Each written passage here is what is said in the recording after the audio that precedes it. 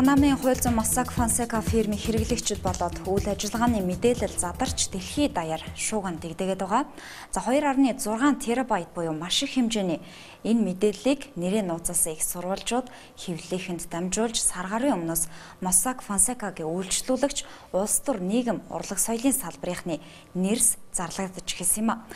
За олон улсын эрен сурвалжлах сэтгүүлчдийн консорциум энэ даваа гарагт Mossack Fonseca-гаар дамжуулан байгуулагдсан 200 гаруй мянган офшор компанийн нэр тэдгээрийн эзэд болоод хувьцаа эзэмшигчдийг олон нийтэд дэлгэсэн.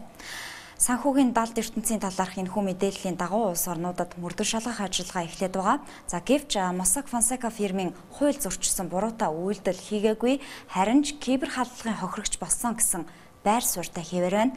Мөн кибер гэмт хэргийн замаар буюу хууль бусаар олдсон баримт материалыг нийтэд дэлгэхгүй байхыг олон улсын эрен сурвалжлах сэтгүүлчдийн консорциумаас шаардаж байжээ.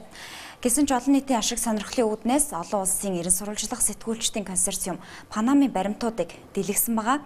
Тиймээс Mossack Fonseca фирм олон улсын эрен сурвалжлах сэтгүүлчдийн консорциумын эсрэг шүүхэд гомдол гаргахаа албан ёсоор мэдэгджээ.